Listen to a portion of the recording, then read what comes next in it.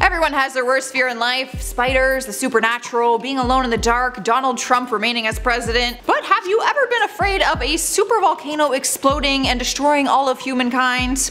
Me neither until now. What's going on YouTube? I'm your host Joss and welcome back to Inform Overload. Before we start, make sure you follow the IO team on social media. All of our links are down below and join me at the end of this video as I do some common shoutouts. Super volcanoes are a thing and they are becoming more relevant and threatening to our society as time goes on. Now, I'm not trying to scare you guys or anything. Maybe just see this as a warning, like I'm helping you, keeping you in the loop of what could happen. You should be thanking me. Let's get started with today's list of top 10 scary supervolcanoes that could destroy the earth. Starting our list at number 10 is Mauna Loa. There's been a ton of debate whether it has been considered a supervolcano or not, but the majority of scientists are saying absolutely. One point of evidence is that it is proven to be the biggest active volcano in the entire world. So yeah, that seems pretty super to me. The volcano is located on the island of Hawaii and hasn't erupted since 1984, so it's long overdue. It had a massive documented eruption back in 1983 and has erupted 33 times since then. Its volcanic activity has caused widespread damage over the years including the loss of human lives and destruction of property. It also causes a significant and dangerous amount of pollution in the atmosphere. Its greatest hazard from the volcano is its lava flow from the eruptions. A witness from the 1968 eruption described it as an immense stream of lava. It moves towards the ocean at a speed of 20 miles per hour, destroying everything in its way. The earthquakes that are triggered can also cause landslides and tsunamis which was reported by another witness saying it buried 10 houses, 31 souls, and 500 head of cattle. A tidal wave also formed and destroyed 108 houses and killing 46 people in the matter of one hour. With an eruption long overdue, we can imagine the destruction this bad boy could cause to our earth the next time it erupts.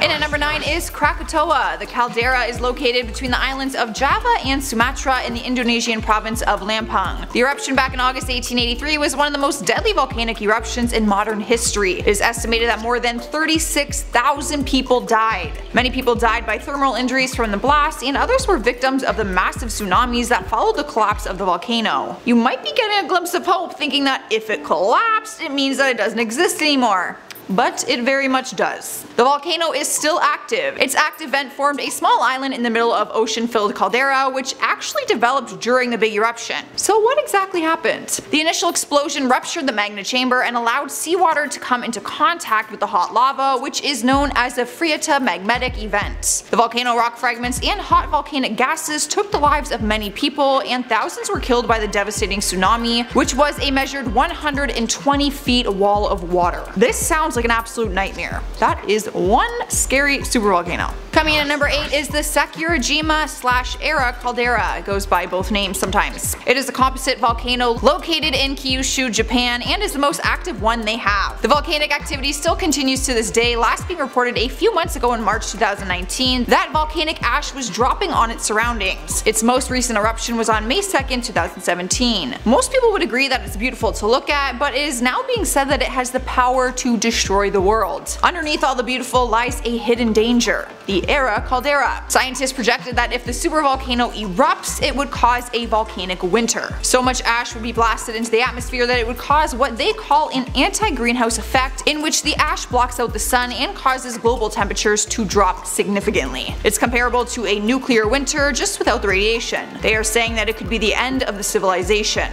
To put it into perspective, one of its eruptions would have the same power and force of hundreds of the most powerful nuclear bombs going off at the same time in the same place. Scientists are saying it would cause billions of deaths worldwide due to the severe climate shifts that wouldn't allow crops to produce and could lead to a massive starvation. Good. Awesome. I feel very safe right now. Sliding into the number 7 is Mount Tambora, an active supervolcano in the northern part of Sumbawa, keyword active. It's famously known for its major eruption that took place back in 1815. It originally formed due to the active subduction zones beneath it. It has a massive magma chamber underneath it which was once drained before the big eruption and has since refilled. The volcanic explosion was an index of 7 and was the most devastating one in recorded history. It has been estimated that the total death toll was 71,000 people. The eruption was so severe that it caused global climate change in the following years. 1960 is famously known as the year without a summer due to the impact of the weather and temperature change. In the northern hemisphere at the time, crops were failing to produce which resulted in what they call as the worst famine of the century. Fast forward to today, Mount Tambora is closely monitored for volcanic activity because if it erupts again, it would affect millions of Indonesians and other surrounding areas as well. Messing with global climate change is no joke.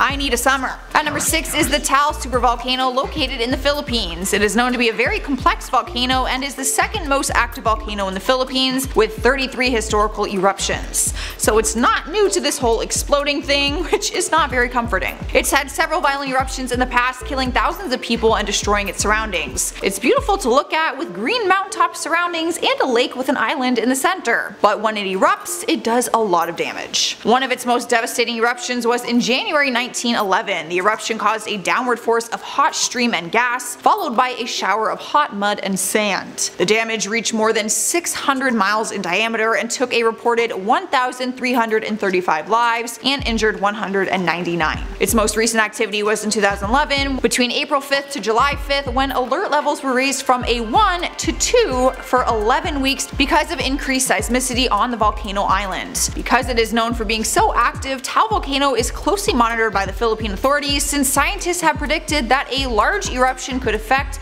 more than 12 million people in that area. Halfway through the list at number 5 is Long Valley Caldera located in eastern California and is adjacent to Mammoth Mountain. The valley is one of the Earth's largest calderas measuring about 20 miles long and is up to 3,000 feet deep. That is some deep water. The amount of magma in the caldera is so large it could have the same equivalent eruption to the one that occurred over 70,000 years ago which released 140 cubic miles of volcanic material into the atmosphere. Scientists have concluded that they aren't expecting an eruption anytime soon but in August of 2018 they found over 240 cubic miles of magma swirling underneath it, which is a terrifying thought because it could potentially erupt and cause a whirlwind of damage to our Earth. The Geological Society of America is still studying studying the volume of magma and the melt fraction to ensure if it's eruptible or not. A statement was issued by USGS stating, I quote, Nevertheless, the long history of volcanic activity in the Long Valley area indicated that future eruptions will occur. So let's just all hold our breath for this one and expect the worst and hope for the best, I guess.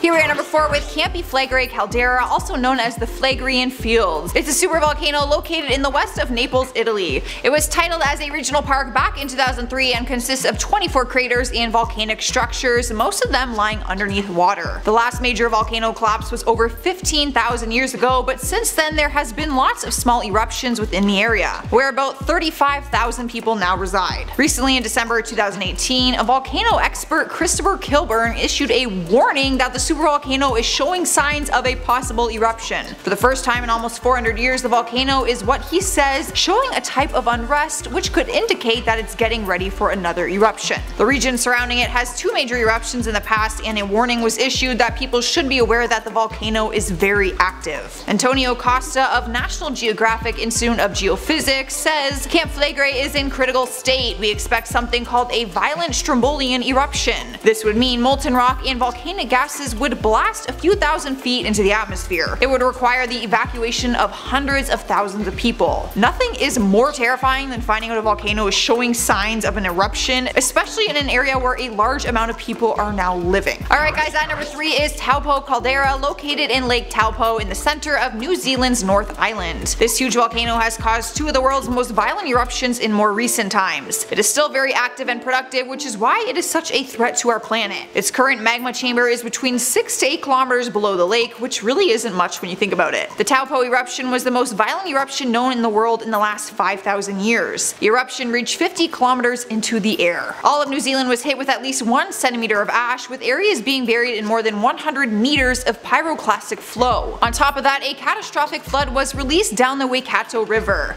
Back in May 2016, scientists were preparing for another eruption. They aren't expecting it, but are planning in case it does because the Earthquake Commission said damage from the last time the volcano erupted would be large enough to destroy the central North Island. An entire island. gone. The research is being led by Simon Barker from Auckland University who wants to be prepared and said, we want to see what the thickness of ash will be in the various regions, how far it will go. Although ultimately there really is no controlling a catastrophe like that. In spot number 2 is Lake Toba Caldera. It's a large natural lake in Sumatra, Indonesia, which is occupied by the supervolcano. It is the largest volcanic lake in the world. It has a massive eruption estimated at level 8 over 70,000 years ago and caused a huge climate change event. It's famously known as the Toba catastrophe theory which states that it killed most human beings living at the time, almost like a complete wipeout. Its eruption led to a volcanic winter with a worldwide decrease in temperature between 3 to 5 degrees Celsius. The eruption was large enough to create a layer of ash as thick as 15 centimeters all over South Asia. The total ash layer today in Toba is up to 6 centimeters thick. To put the eruption into perspective, it was calculated that 10 million tons of sulfurous acid was released into the atmosphere. Several studies since the eruption have shown that something is going on underground where the magma chamber used to be. It is currently considered to be active and is likely to form future earthquakes and volcanic eruptions, which can be a hazard to everyone around that area. It is now being called the rising supervolcano as scientists are saying it is making a comeback and reforming itself. Please don't reform yourself.